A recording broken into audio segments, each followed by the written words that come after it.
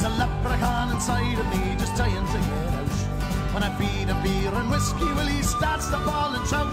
He thinks he's Michael Flatley when he starts to dance about. And he can't remember.